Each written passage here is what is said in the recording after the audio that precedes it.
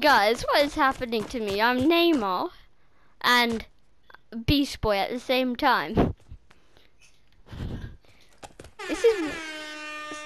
Yeah, do that on me. Just leave in the comments what you think has happened and I'll tell you if it's right. I'll heart your comment if it's right.